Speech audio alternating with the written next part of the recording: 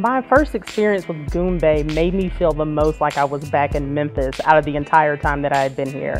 So I moved here February of last year, did not come across a lot of minorities, which is fine, um, but was kind of a culture shock coming from Memphis, Tennessee. It's a, it's a huge melting pot there.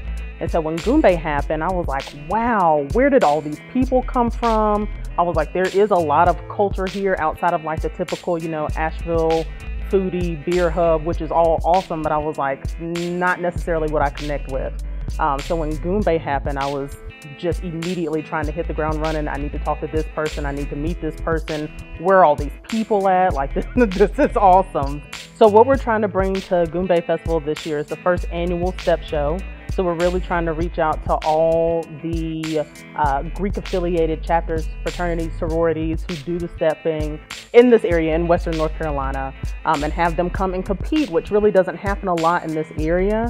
Um, so it's, it's multifaceted in terms of what we want to do with this particular event. One, it's super fun to watch, um, but I think the community piece and getting kids excited about education and the potential to go to college and things like that, even if it's with something um, that may not be as big on the radar as like getting good grades and might be, oh, I want to be able to pledge or I want to do that, that's still an open door. And then on the flip side of that, really being able to have the colleges and the chapters be able to highlight the community service that they do because there's a lot of things that go into the organizations outside of just stepping. That's such a small part with, with Greek organizations. Uh, they do a lot of community service um, and they're really invested in the community. Um, so I really want to bring that to Goombay and just have that be like a really multifaceted type thing that happens and it's really fun.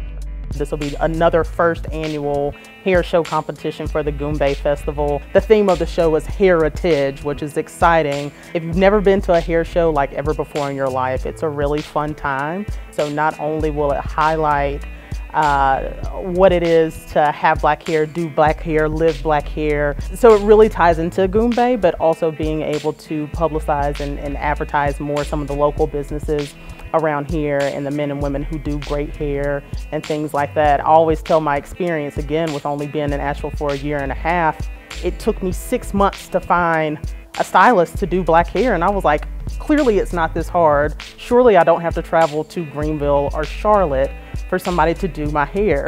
and there are lots of people here.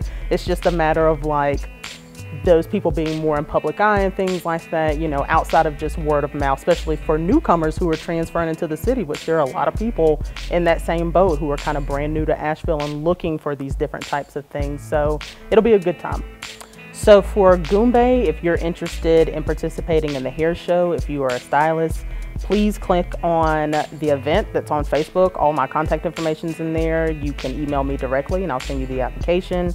If you are interested in the STEP show and you are Greek affiliated, you can do the same. Click on the event. My information is in there. You can email me and I'll also send you the application for that.